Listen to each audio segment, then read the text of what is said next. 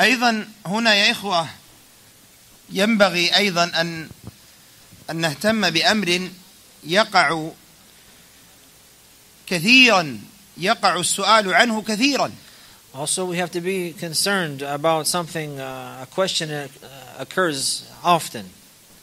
وذلك أن كثيرا من الأزواج لا يسعون في استصلاح أزواجهم أو زوجاتهم And this is because many of the of the husbands they do not hasten or they're not diligent to work in uh, rectifying their wives, بل يسعى إلى التخلص منها أو التخلص منه or rather they hasten to get rid of one another. وتجد الابن أيضا يسعى إلى التخلص من أبيه And you find that the son he's uh, he, he's diligent, striving to get rid of his father.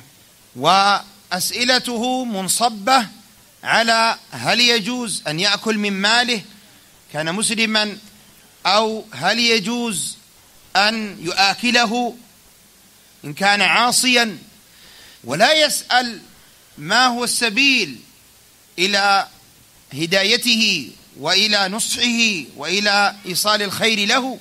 You find them that they ask questions about uh, is it permissible for me to leave him, or my if his father was uh, uh, disobedient, is it permissible to take uh, his wealth or to eat to, to benefit from his wealth because it, he earns it unlawfully? But they don't. You don't find them asking the questions. What is the means for me to rectify him or to be a means to guide him?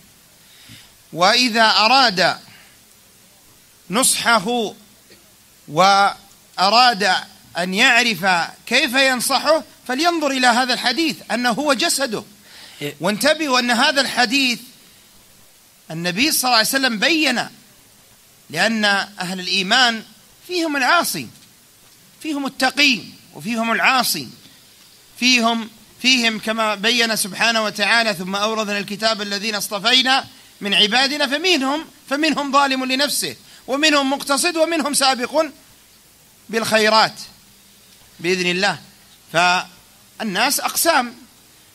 فإذا لا بد أن تستشعر أن العاصي أيضا هو جسدك. هذا هذا العاصي المؤمن هذا المسلم أنه من جسدك. فليس فقط أنك تنظر إلى الأتقياء أنهم يعني جسدك بل حتى العصاة. ولذلك نظر نظرت أهل السنة والجماعة للعصاة الشفقة والرحمة والعطف عليهم وإيصال الإحسان إليهم. وهذا يدخلون فيه ومن الذي يخرجهم من هذا الحديث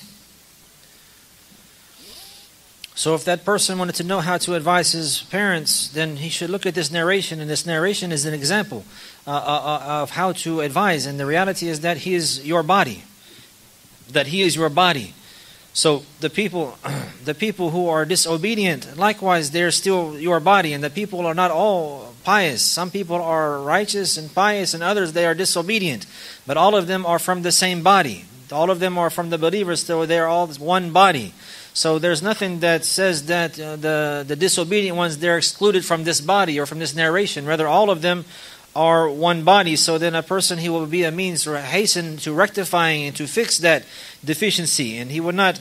Uh, look at the, the disobedient from the eyes of belittling them, but rather from the eyes of pity. And he would hasten to try to be a means to help them or to rectify them uh, and to guide them.